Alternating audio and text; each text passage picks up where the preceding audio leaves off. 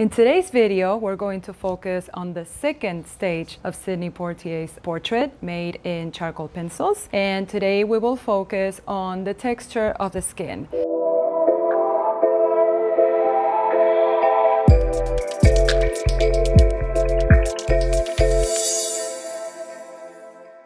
Hi everyone, welcome back to my channel. My name is Julieta. I am a self-taught portrait artist. I'm glad you're here. So let's go straight to the video. So in our first stage, you guys have seen that we have done the general details and outline of what you should do in order to set the foundation for a portrait in charcoal pencils and charcoal powder and all the materials that I have already told about and that I will keep introducing.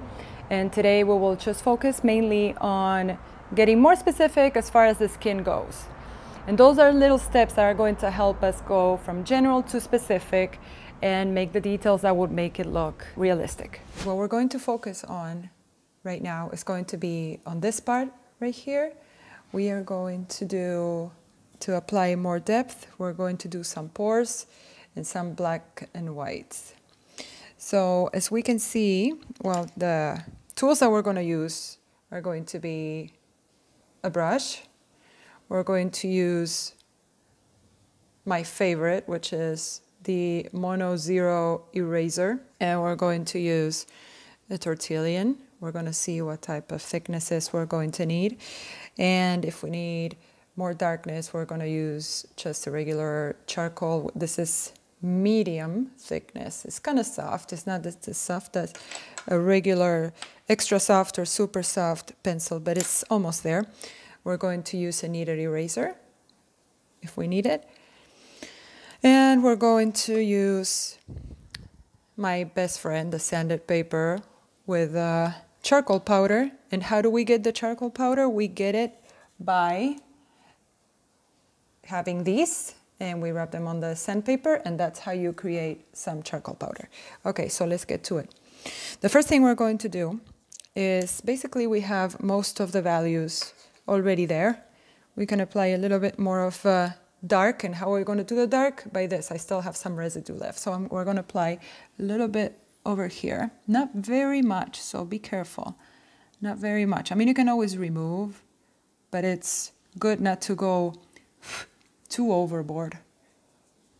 It's always good to just take your time and do it slowly. No rush. Just follow the reference photo and as best as you can. And then just make more modifications as you need. So here, since we have this part of the face, which is the part where a little bit of um, right where the cheekbone is, and then the face starts to go down. This is why it's a little darker. Why? Because it's like a little bit of a dent that the face makes. It's kind of goes down. Um, like here, for example, this, you know, like this area here, you can't really see it very well because we're just focusing on this area. But that's kind of um,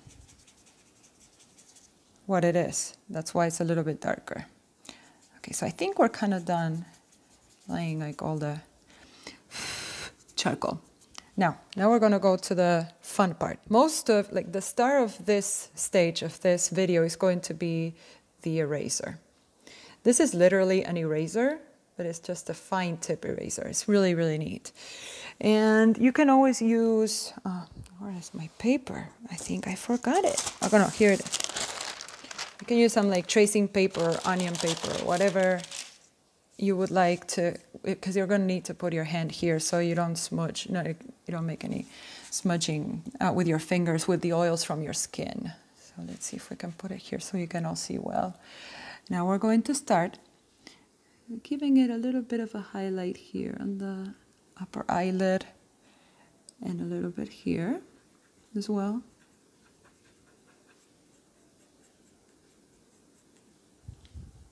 And it's all about like, it's interesting that one thing that people need to know that is, you know, a mistake that we all make at the beginning. We go crazy with this and we start applying uh, using the eraser for like everything, but that's a mistake. Always make sure to do, to, you know, less is more in this case.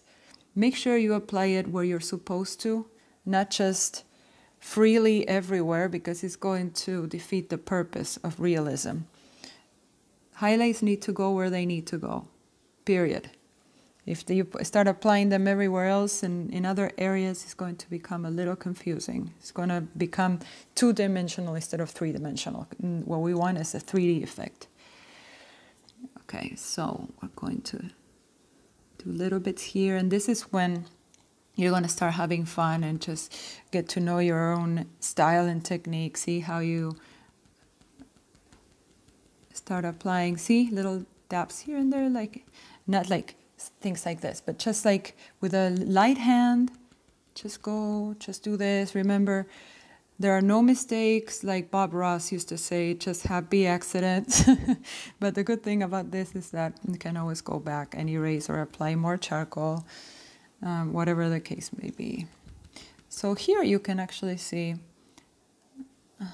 you know, like this is how you create texture. This is how it's done.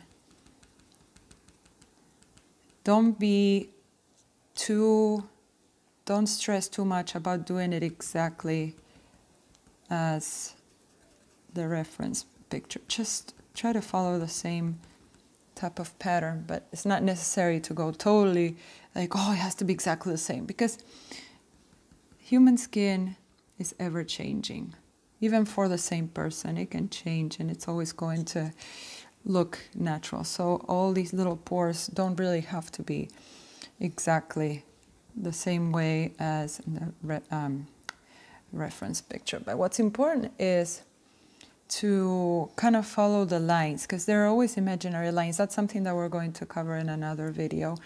Faces are pretty much, and it's a very simple concept, but faces are just a whole bunch of um, geometrical shapes put together. Once you start seeing faces like that, everything will make a lot more sense. It's just a bunch of geometrical shapes put together to create a face. So here, I'm just doing this. I know it's kind of a tedious um, process, but trust me when I tell you that the more you do it, the more little detail you apply, the better it's going to look in the final result. It's all about detail, especially if what you're looking for, if what you're after is a realistic looking portrait. Nothing more, nothing less. And paying a lot of attention, watching, having a good eye, attention to detail. So here we go. Here's some, some pores. You see? And there we go. Keep going. I should show you guys the, uh, the reference picture. I just don't want to take it out at the moment because if I do, and it does take a while to set everything the way it's supposed to be. But going back to what we're doing right now, remember, and I'm going to do a little something a little different right now. So um, we're going to take, just to show you, this is a tortilla, and it, uh, tortillas work better. I mean, the more used they are, like the more residue they have in them, the better they work. So we're going to do this, like this.